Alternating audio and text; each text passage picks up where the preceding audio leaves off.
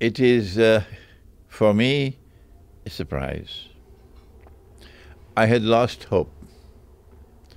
I thought that the brainwashing that the media, television in particular, and the radio and the newspapers, that the brainwashing that they engage in, and they have been very successful in it for so long, I had lost hope for the American people. I felt that the American people were the most brainwashed on the face of the earth. And lo and behold, something just happened. That it was as plain as daylight that the media in the United States, the establishment in the United States, television, radio, newspapers, government agencies, were all demonizing one candidate,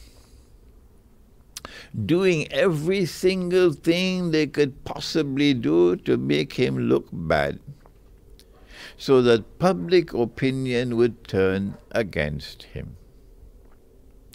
And the other candidate, who I consider to be the candidate of war, because the those who control power in the United States, in Britain, France, in Germany, in NATO, are, in my opinion, lusting for war with Russia and China because Russia and China are not prepared to bend their knees in submission. And these people have an arrogance unprecedented in history that they want to rule the whole world. Everybody must bend, bend down, bow down, and submit to them. But Russia says no. The Russian knee will not bend to you. And China says no. The knee of China will not bend to you. And the other candidate was the one who was in harmony with this and supporting war on Russia, war on China, which would have been nuclear war. You don't need a PhD to know that.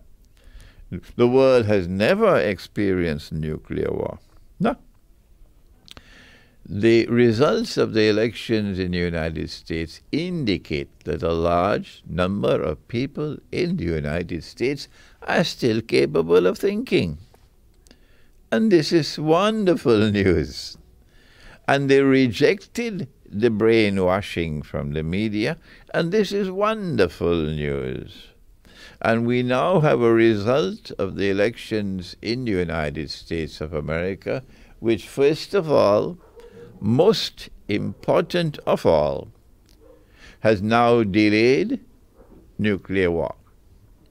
We don't know for how long this window of sunlight will remain open. We don't know whether they will do to Trump what they did to John Kennedy. We don't know. That they would do to Trump what they did to so many others whose, you know, the aeroplane falls out of the sky. And that's the end of that story. We don't know whether Trump will suffer the fate of Hugo Chavez. Hmm?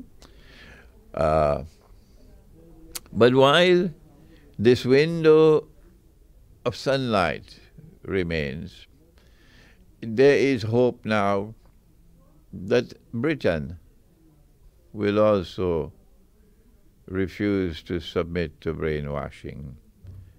And so to France and Germany and Belgium. And so there must be panic now panic in the hearts of those who are oppressors. And uh, I am, of course, pleased with that kind of result. And at this time, when we have this window of sunlight, all those who are resisting oppression should also resist the demonization of Islam. I speak as an Islamic scholar.